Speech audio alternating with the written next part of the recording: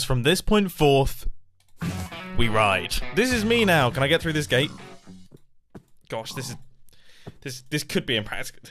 This is much more difficult than I expected. We are through and, and off into the outside world.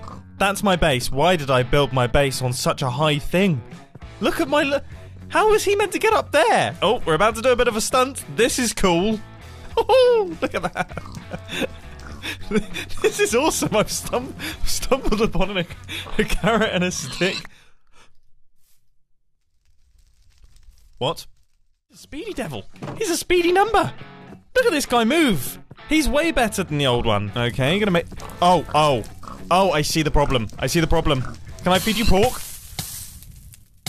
Yeah, actually, feeding pork to a pig's probably a, a terrible idea. Okay, maybe for now, I will just I will avoid the assault course. As actually, I think it's a form of assault. What I'm doing to these pigs. All I have to do is get back to my base, which is over there, safely. Is it me or is this guy slowed down? Is he slowing down? I, I swear we're going slower than walking pace at this point in time. This episode is going to take a very long time, isn't it? Come on, little guy, you can do it. We need to get there before night falls. I don't think we can get away from anything at this point in time. I have also learned that I can right click with my carrot on a stick and it will speed him up, but it's using up basically all the durability of my carrot on a stick. And as we saw earlier, carrots aren't easy for me to come by. I got these carrots from a starter farm in the first village. It would take me about three hours to get there. Easy does it. Easy does it. And there we go. I would say that has been a success. Everything I need. If I don't, that is going to be incredibly upsetting. Let's roll out. And we have reached our first obstacle. Right, hop off. Place boat. Get pig in boat. This is the plan. This is the plan. Yes, good, good. Get in boat with pig. Cross body of water. I mean, come on now, this is the dream. we all have to admit this is the dream. I have to be very careful. Good, good, good, good. This. You know what? This is the way to go. I am a, a tiny bit concerned that it is now dark. I, I feel like we could be in a, in a tiny bit of danger. And by that I mean I think we could be in quite a lot of danger. Yeah, I'm being shot. This this definitely this definitely doesn't make life easy.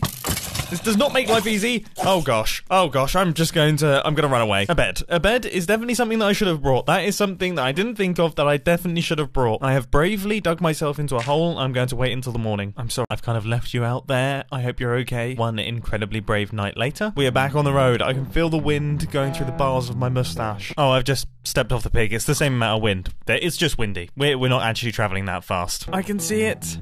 I can see the shopping district in the distance. We're almost there. And you know what? Viewing it from the ground level and at such a slow pace, it allows you to really take in the details. And this place is really cool looking. We're getting our first view of the button now, and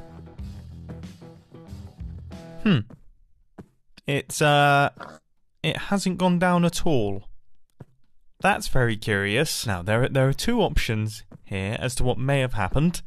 Option number one is that the redstone clock is so slow that the counter hasn't gone down at all. That is unlikely. Option number two is I is I forgot to put the items into the redstone clock, which means this thing has been sat here doing nothing for the entire week. Which is very like the base. And by roll, I mean walk incredibly slowly. This this was a silly idea, wasn't it? This was a really silly idea. Why did I ever think this was a good idea? I guess it's given me the opportunity to see the Minecraft world in a different perspective. For example, I never would have seen this tree if I had flown with an elytra. Look, it's a, it's a lovely tree. Nobody has ever acknowledged this tree before, and I think it is wonderful. There's also these stumps that people have left.